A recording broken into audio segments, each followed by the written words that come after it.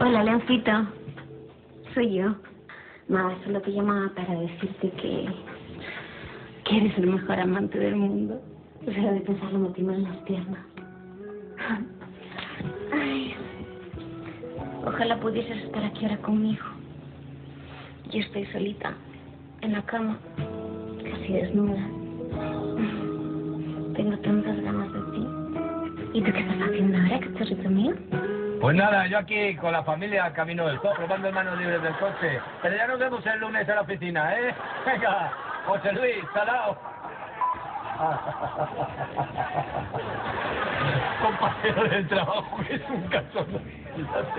¿Perdona? Niño, no creas